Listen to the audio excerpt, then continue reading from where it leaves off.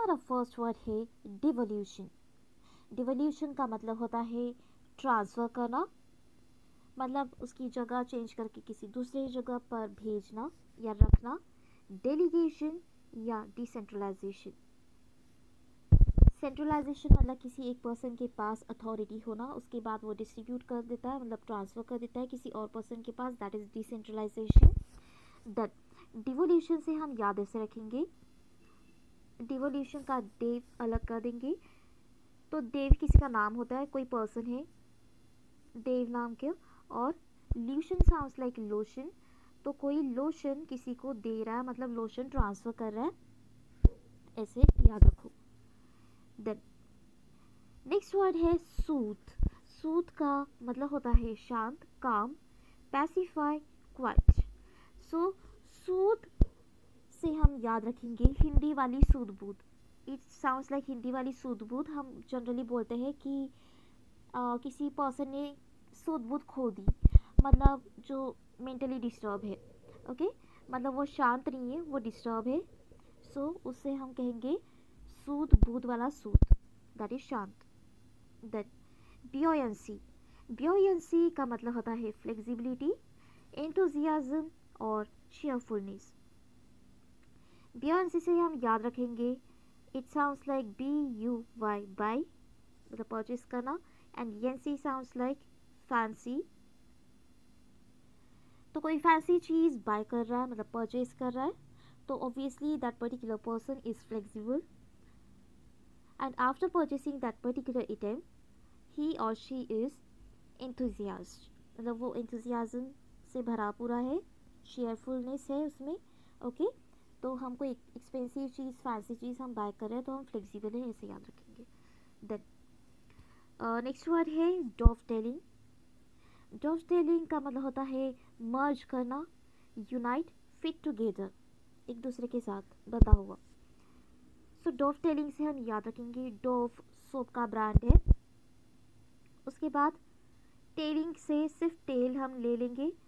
तो हिंदी वाला तेल याद रखो तो डोफ डोव तो सोप का ब्रांड है। तो उसने ऑयल का भी ब्रांड निकाल लिया मतलब उसमें मर्ज कर दिया उसने ऑयल ब्रांड के साथ। तो ऐसे याद रखो कि डोव और टेल तेल देन रेमिटिंग रेमिटिंग का मैंने किसी लास्ट सेशन में मीनिंग बताया था।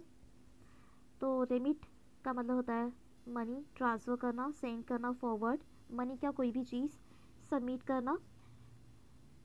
जब कोई एक्सपैट्रिएट हमारी कंट्री में पैसे भेजते हैं that inflow is known as remittance remitting okay तो री से हम याद रखेंगे रिपीट डन मीटिंग से हम याद रखेंगे, कोई किसी से मिलने जा रहा है ओके सो कोई किसी से मिलने जा रहा है मतलब हम अपने आप को लेके जा रहे हैं तो सेंडिंग याद रखो फॉरवर्डिंग और submitting okay then accrue accrue का मतलब होता है इंक्रीज एक्यूमुलेट मतलब एक्यूमुलेशन एडिशन तो एक्यूल से हम याद रखेंगे एक्यूल साउंड्स लाइक अकड़ू ओके तो क्रूअल से हम याद रखेंगे cruel sounds like this cruelty okay तो कोई अकड़ू है जिसकी क्रूअल्टी बढ़ती जा रही है, उससे हम याद रखेंगे इंक्रीज देन सीलिंग सीलिंग का मतलब होता है मैक्सिमम लिमिट या अपर लिमिट तो हम हमारे रूफ से मतलब सीलिंग से हम याद रखेंगे. That is are upper limit okay बस वही तक हमारी जगह उसके ऊपर नहीं है. दैट इज़ अपर और maximum limit then staggered staggered का मतलब होता है स्टंट मतलब सरप्राइज़ रहना, आश्चर्यचकित अमेज्ड स्टैगर से हम याद रखेंगे दिस टैग और कोई रेड कलर का टैग किसी ने लगा दिया आप पर तो आप सरप्राइज़ रह जाओगे शॉक्ड रह जाओगे अमीज देन डिस्क्रिशन का मतलब भी बताया था किसी सेशन में ऑप्शन चॉइस या विलनेस तो दिस को अलग कर देंगे it sounds like T H I S वाला this and creation discretion creation sounds like dis creation तो कोई बोल रहा है या बोल रही है कि हमें बस यही क्रिएशन चाहिए मतलब दिस क्रिएशन मतलब वो पर्टिकुलर ऑप्शन ही चाहिए। That is option then dwindle तो ड्विंडल का मतलब होता है डिक्रीज डिक्लाइन या फॉल मतलब कम होना। तो ड्विंडल से याद रखेंगे ये वीन।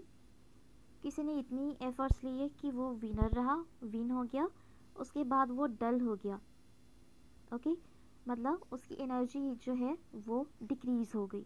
पहले विन हुआ, फिर डल हुआ दैट इज़ ड्विंडल